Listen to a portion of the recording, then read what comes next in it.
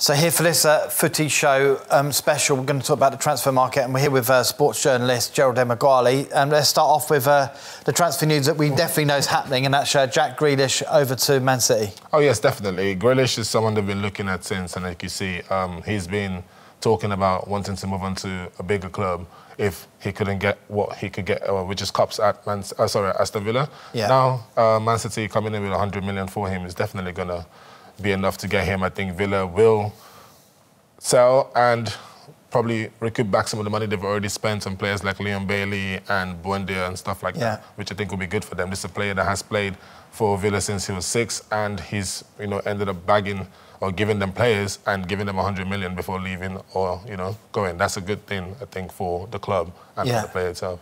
Yeah, exactly. I mean, is it worth the money, um, given that Messi's now available, possibly going to PSG? Um, we were just saying off stage that maybe, well, you were saying that, you know, Man City might have gone in for Messi because there was a transfer rumours last season, wasn't there? And then he signed a one-year extension at Barcelona. But um, would Man City have gone for Messi, do you think? I mean, they're probably the only people that could afford these, uh, this massive... I could only imagine Guardiola sitting down and going, he's made a mistake there, in a way, maybe.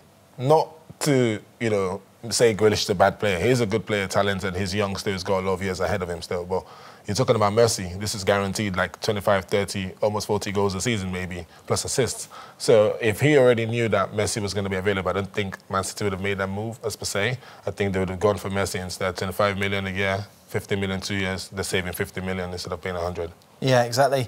Um, what about um, other transfers then? So we've got um, Varane going to uh, Man United. They've got Sancho already. Yeah. Man United are spending big as well, aren't they? Uh, Man United always spend big. I mean, even if it's one player they buy, they always spend big.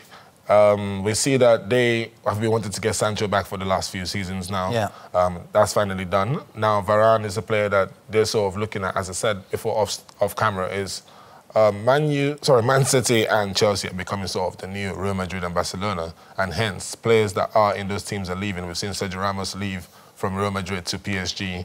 We've seen about the whole Messi thing right now. Varane also leaving. We're not sure what's going to happen with Odegaard and Isco, but it seems like a big revamp for both of those teams.